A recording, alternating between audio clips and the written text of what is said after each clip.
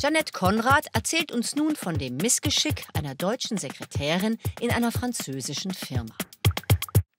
Anke ist Deutsche und arbeitet seit zwei Wochen als Chefsekretärin in einem französischen Pharmaunternehmen im Stadtteil La Défense bei Paris. Montags morgens kommt der Direktor, Monsieur Duteuil, zur Tür herein.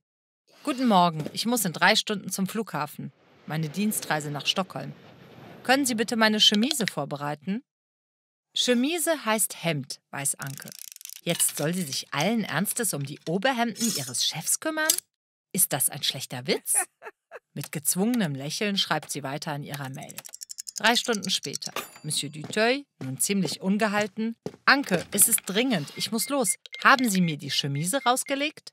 Anke zögert einen Moment. Diese Franzosen sind unverbesserliche Machos.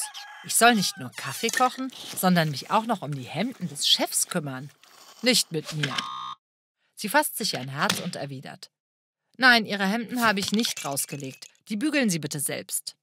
Das Gesicht von Monsieur Duteuil ist plötzlich wie eingefroren. Anke ahnt nicht, dass das Wort Chemise zwei unterschiedliche Bedeutungen hat. Während sie an Oberhemden dachte, redete ihr Chef von kartonierten Mappen, in die man Akten ordnet.